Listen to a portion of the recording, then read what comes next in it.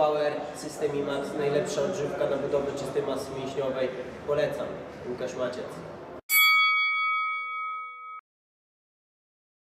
Wydaje mi się, że zawsze musi być taki, e,